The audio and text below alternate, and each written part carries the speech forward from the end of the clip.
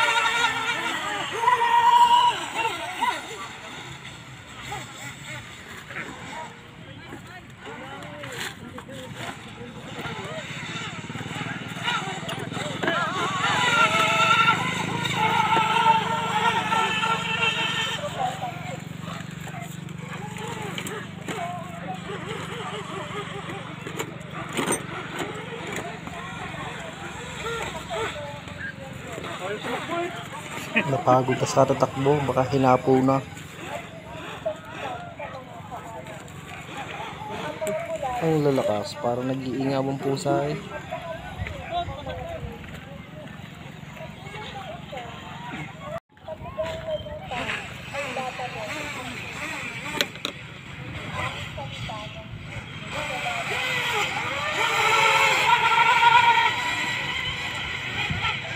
Siya! Siya! Lusot eh. Hindi maganda ang ano mo yan.